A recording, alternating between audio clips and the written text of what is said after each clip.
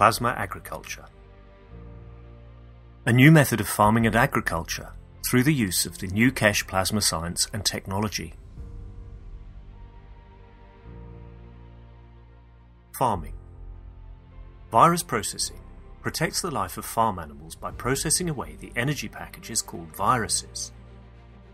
Increase in fishery and farming products. Create the optimal conditions for farming to thrive. Reduction in growth time. The plants grow faster and stronger. Reduction in harvesting time. The earlier maturity time for harvest allows farmers multiple harvests per season. Extension of the shelf life of agricultural products. Increase in grain protein content without interfering with seed genes. Environment Reduction of chemical agriculture inputs. No more fertilizers or pesticides. Progressive reduction of land nitrites and chemical contaminants clean and restore the environment. Decontamination of agricultural water from poison and metals. Health through food. Reduction in the use of chemical fertilizers or antibiotics in farming practices Food nutrients in the crops are kept without the use of genetic modification. Improved health for people and environment.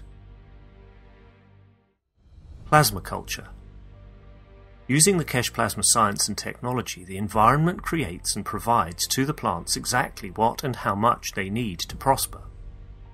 Reduction in use of groundwater in agricultural systems. As the energy is absorbed from the environment, a plant does not need that much water to create its own food and energy to grow.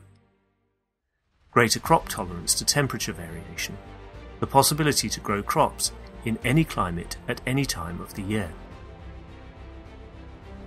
Non-GMO Use of the newly discovered natural state of matter known as GANS plasma water allow the natural growth and development of agricultural products use of non-GMO agriculture process, proven through governmental tests. Financial security for farmers.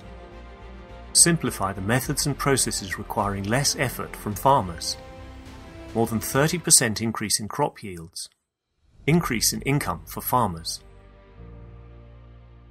Global change. Eliminate famine worldwide.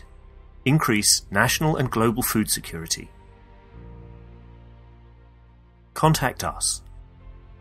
Visit our website for the brochure in your language.